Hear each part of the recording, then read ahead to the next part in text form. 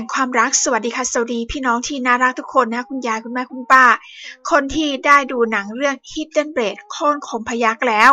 สำหรับตัวแวมเองทำสารภาพว่าแวมยังไม่ได้ดูเลยนะวันนี้ เมื่อวานนี้แวมก็เดินทางนะคะ ไปดูหนังเรื่อง Hidden Blade คือแวมเนี่ยย้ายบ้านใหม่มาอยู่ที่จังหวัดจังหวัดหนึ่งเป็นจังหวัดเล็ก ๆ ที่อยู่ยังชายแดนใกล้กับกัมพูชา แล้วก็จังหวัดที่แวมอยู่นะคะมีห้างเล็ก ๆ อยู่ 2 ห้างเท่านั้น คือพูดง่ายๆแหละโรงหนังก็เป็นโรงหนังเล็ก ๆ ที่อยู่ในห้างสรรพสินค้า ที่มันเป็นห้างแบบเหมือนกับซูเปอร์มาร์เก็ตขนาดใหญ่พูดง่ายๆอยู่ในโลตัสนั่นเอง ตอนแรกนะคะแวมก็ดีใจมากๆ ก่อนหน้านั้นเนี่ยไปซื้อของแวมก็ไปดูนะคะที่โรงหนัง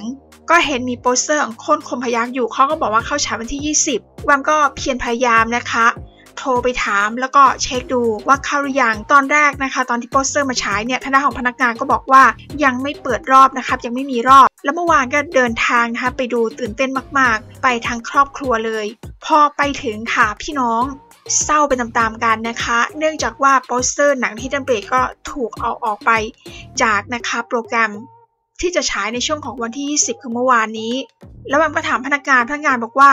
หนังไม่เข้าครับโหเสียใจมากๆ และผิดหวังกันทั้งบ้านจริงๆนะเมื่อวานนี้ เพราะว่าไปกันหมดเลยนะคะ ที่บ้านของแวมครบเลยเพื่อที่จะ support หวังอี้ป๋อ ดูหนังของเขา แต่ก็ไม่ได้ดูนะคะ เสียใจมากๆ เสียความรู้สึก แวมก็รออยู่นะคะ ต้นเดือนพฤษภาคมเนี่ย แวมจะไปที่จังหวัดขอนแก่น คือที่ขอนแก่นเนี่ย เข้าฉายหลายโรงเหมือนกัน ก็จะรอไปดูที่ขอนแก่นนะคะ คาดว่าน่าที่จะได้ดู ถ้าหากว่าวันที่ 3 พฤษภาคม Hidden Blade ยังไม่ออกจากโรงฉายขอให้ฉายนานๆนะคะเกินกว่า 2 อาทิตย์แล้วกันถ้าออกก่อนเนี่ยแวมก็เศร้า ไม่รู้ว่าจะทำยังไงเหมือนกันเนี่ย รอดูออนไลน์ไปเลยข้างหนึ่ง ซึ่ง feel ดูออนไลน์กับ feel ที่ดูในโรงภาพยนตร์เนี่ยมันแตกต่างกันอยู่แล้ว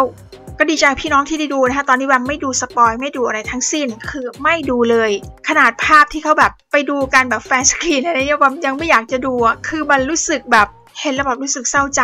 เพราะว่าชาวบ้านเขาได้ดูหมดแล้ว แต่มันเกิดอะไรขึ้นนะคะกับสถานที่ที่เราอยู่ มันทำให้เราไม่ได้ดูแวมเสียใจ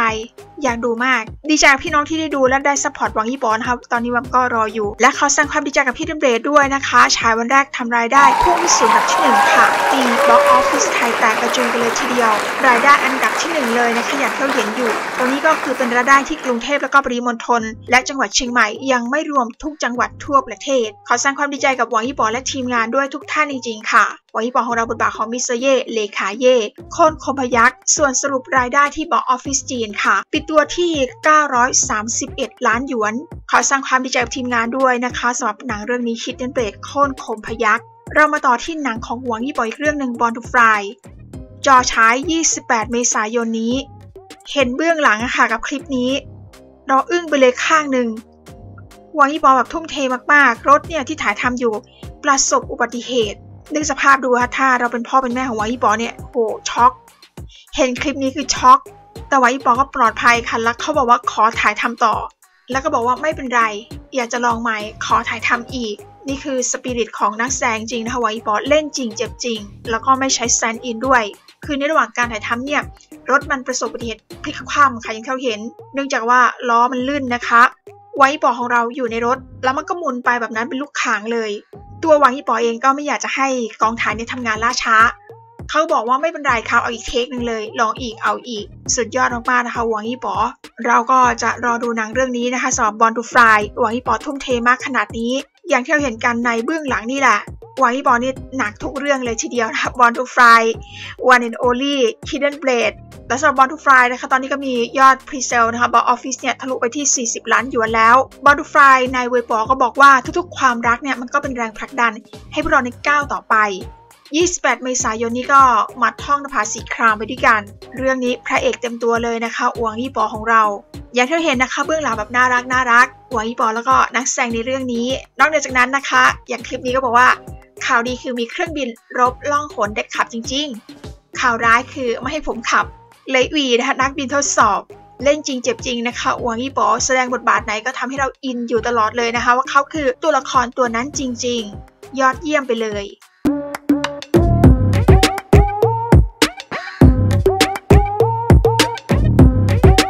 และข้าวเท้าเพียวๆนะคะก็มีเกล็ดเล็กเกล็ดน้อยนะคะเกี่ยวกับเรื่องราวของบอลทูฟลายค่ะ อย่างเช่นการเสียการทรงตัว ก็คือเครื่องยนต์หยุดทำงานกลางอากาศ ในตัวอย่างภาพยนตร์มันคืออะไร สภาวะที่ลูกตาดำของนักบินเปลี่ยนเป็นสีแดงนั้น หมายความว่าอย่างไร เราก็มาดูเรื่องราวไขข้อสงสัยนี้กันนะคะ คือมันน่ากลัวมากๆอย่างที่เราเห็นกันดวงตาของนักบินทดสอบอย่างหวังยี่ปอนะกลายเป็นสีแดง การเสียการทรงตัว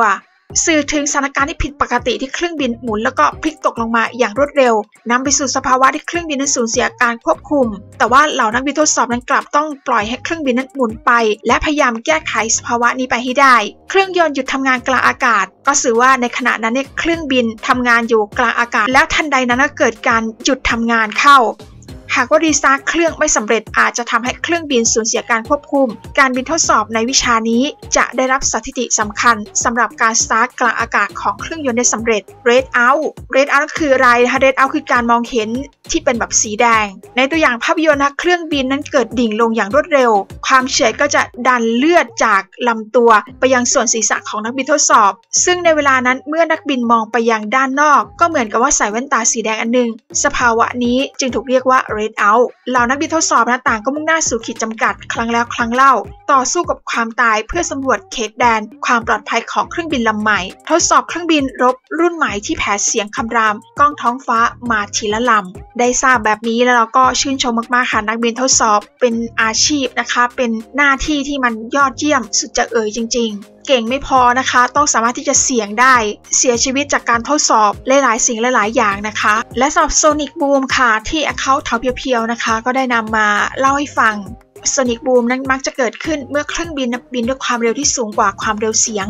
โดยขณะเดียวกันนั้นค่ะก็จะเกิดม่านหมอก sonic boom อย่างที่เราเห็นในภาพ หรือว่า shock wave คือมีรูปร่างเป็นคลื่นรูปกรวย ในหนังเรื่องนี้ค่ะ เครื่องบินรบที่ส่งเสียงดังสนั่นและเกิดเป็นม่านหมอกก้อนใหญ่ขึ้นมาในทันที ในหนังเรื่องนี้นั้นฉายนะคะ มุมที่ลอดผ่านทะลุกลุ่มฝูงเมฆคือเต็มอรรถรสค่ะในการรับชมเหมือนจริงมากๆ เขาบอกว่าเพื่อทดสอบเครื่องบินรบล่องหนของจีน นักบินทดสอบจำเป็นต้องตรวจสอบสมรรถนะของเครื่องบินอย่างต่อเนื่องไม่ว่าจะเป็นเสียงที่ดังกระหึ่มของเครื่องบินรบ หรือว่าจะเป็นการเคลื่อนไหวทางอากาศที่ดูน่าหวาดเสียว และมั่นใจว่าจะสามารถสร้างความตื่นตาตื่นใจทางภาพและเสียงให้กับผู้ชมได้อย่างแน่นอน สมจริงอย่างที่สุดนะคะบอลทูฟรายตื่นเต้นมากๆเลยนะคะ อยากจะดูมากๆ เข้าฉายจีนนะคะ28เมษายนนี้ รวมถึงบางประเทศด้วยที่ได้ชมพร้อมประเทศจีนค่ะ I was born to love you.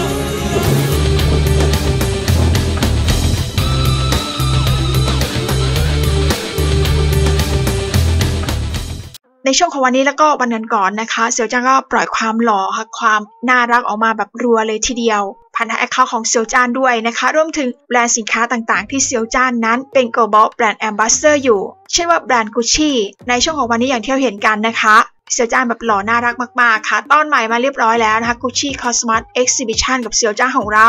สำหรับ Beyond Heritage ขบวนนักร้อง นักแสดงเซียวจ้านและ Gucci Global Brand Ambassador เซียวจ้านนั้นสำรวจงานฝีมือและก็มรดกที่คลาสสิกของด้ามจับไม้ไผ่ ที่ Gucci Art Lab ในเมืองฟลอเรนซ์และต้อนรับการเดินทางในตำนานของ Gucci Cosmos Exhibition เราก็ได้เห็นในนิทรรศการนี้ได้เห็นเซียวจ้าน คือหล่อน่ารักมากๆค่ะเซียวจ้านบรรยากาศดีจริงๆ ประหนึ่งดังเจ้าชายค่ะเซียวจ้าน น่ารักมาก สุดจะเอ่ยแล้วแหละดูกันเอาเองนะคะ ดูไปวนไป แปลว่ายังไม่จบนะคะ หน้าที่จะปล่อยมาอีก สอบเซียวจ้านกับแบรนด์สินค้า ตอนที่เดินทางไปยังมิลานอิตาลี เพื่อไปร่วมงาน Milan Fashion Week หลังจากนั้นเซียวจ้านก็ทำงานต่อ และกุชชี่ก็มีอัพภาพเซตนี้โหเซียวจ้านหล่อมากจริง นักแสดงนักร้องกุชชี่ก็บอก brand ambassador เซียวจ้านนำเสิร์ฟภาพโฆษณาในซีรีส์เครื่องประดับ Gucci Link to Love ใหม่ล่าสุดสำรวจความรู้สึกโรแมนติกที่ทันสมัยสดใสแล้วก็แวววาว ผูกหัวใจของกันและกัน เครื่องประดับแบบสวยมากๆค่ะ เหมาะสมกับเซียวจ้านจริงๆ เซียวจ้านก็หล่อเกินที่สุดจะบรรยายแล้วเราขอแสดงความดีใจกับเซียวจ้านด้วยนะคะ ตอนนี้ก็เปิดตัวเซียวจ้านค่ะ เป็น YSL Skincare Global Spokesperson สำหรับเซียวจ้านเซียวจ้านก็มีอัปเดตเขาเวยป๋อด้วยอย่างที่เราเห็นกันนะคะ เป็นโฆษณาตัวใหม่ค่ะ ที่เปิดตัวเซียวจ้านนั่นเอง เป็นโฆษกระดับโลกไปแล้วเรียบร้อยนะคะ พลังงานสูงความสำเร็จที่ระเบิดได้ร่วมเป็นสกีพยานในช่วงเวลาอันทรงพลังของการดูแลผิวด้วย YSL ด้วยกันนะครับขอแสดงความดีใจกับเซียวจ้านด้วยนะคะทางด้านของ YSL ค่ะ ก็มีส่งเบื้องหลังมาด้วย อย่างที่เราเห็นเป็นเบื้องหลังการถ่ายทำโฆษณาตัวใหม่สำหรับ YSL Skincare Global Spokesperson เซียวจ้านเซียวจ้านบอกว่าสวัสดีครับ ผมคือ YSL Skincare Global Spokesperson เซียวจ้านนะครับ ในระหว่างที่ร่วมงานกับ YSL ผมนะก็ชื่นชม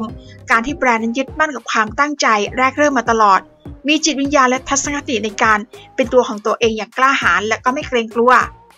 หวังว่าในอนาคตนั้นจะร่วมงานกับ YSL และไม่ถูกกำหนดนิยาม ใช้พลังที่ไม่จำกัดสำรวจอีกหลายด้านของตัวเองให้มากขึ้นครับ ส่วนท้ายข่าวคราวของเซียวจานและหวังอีปอในช่วงวันนี้ค่ะที่เซียวจานนะคะวันนี้ก็มีไลฟ์กับทางด้านของแบรนด์เอเนซ่า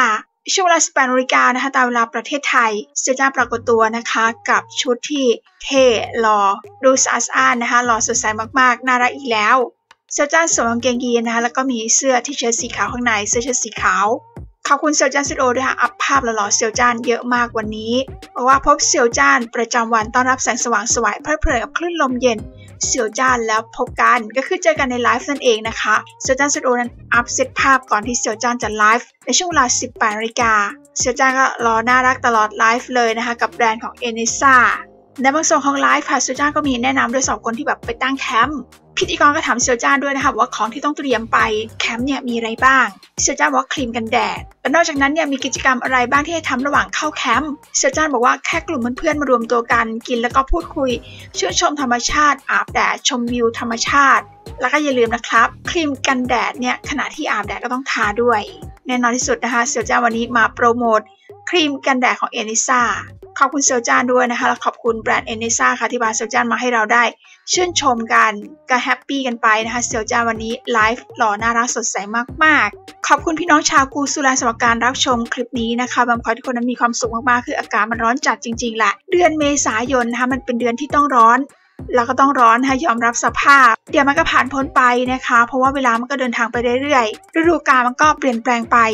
มันไม่มีฝนตกตลอดหรือว่าอากาศร้อนจัดตลอดเวลา ขอพระเจ้าอวยพรทุกท่านนะคะสำหรับค่ำคืนนี้ สวัสดีค่ะ